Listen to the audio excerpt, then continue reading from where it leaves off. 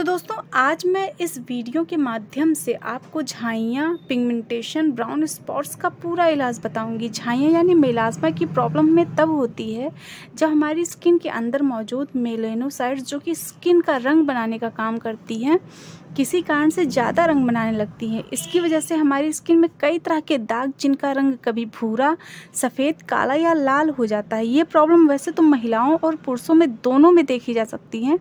पर ज़्यादातर महिलाओं में ये प्रॉब्लम अधिक होती है। हमारी स्किन में कई प्रकार के दाग हो सकते हैं, जिनमें से है मुहासों के दाग, चिकन पॉक्स के बाद जो रह जाते हैं वे दाग, उम्र बढ़ने की वजह से भी स्किन दाग धब्बे से भर जाते हैं। लीवर में प्रॉब्लम की वजह से भी स्किन में दाग धब्बे हो जाते हैं।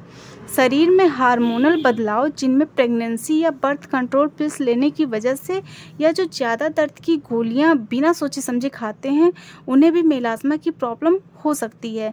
ज़्यादा तनाव या थायराइड प्रॉब्लम की वजह से भी मिलाजमा हो सकता है। पिगमेंटेशन का सबसे बड़ा कारण है सूरज की धूप में जो अल्ट्रावायलेट किरणें होती हैं, उनके स्किन के अंदर जाने की वजह से भी हमारी स्किन में दाग धब्बे हो जाते हैं।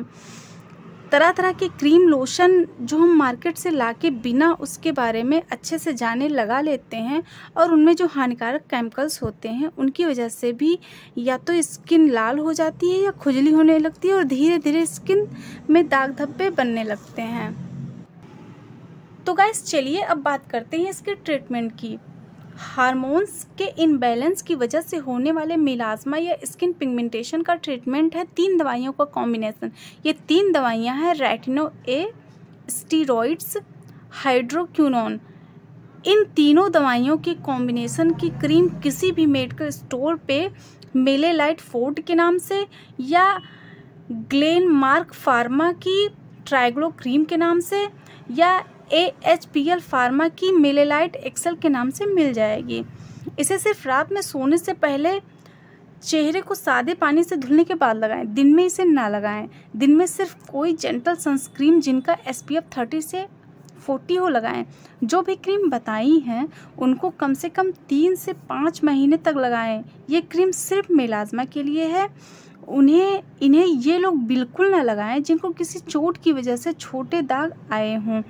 या इसे एज अ फेयरनेस क्रीम भी बिल्कुल ना यूज़ करें। और एक बहुत ही इम्पोर्टेंट बात, इन क्रीम्स को वो महिलाएँ बिल्कुल ना लगाएँ जो प्रेग्नेंट हैं या बच्चे को दूध पिलाती हैं और इनको यूज़ करने से पहले स्किन टेस्ट करना बिल्कुल ना भूलें जब छाइयाँ ठीक हो जाएँ तो स्किन का अच्छे से ध्यान रखें ताकि ऐसी प्रॉब्लम फिर से ना आए। और ये खासकर कोशिश करें कि फेस वॉश साबुन यूज़ ना करें। और जब भी धूप में निकले तो सनस्क्रीन ज़रूर लगाएँ और बिना सोचे समझे कोई फेयरनेस क्रीम ना लगाएँ।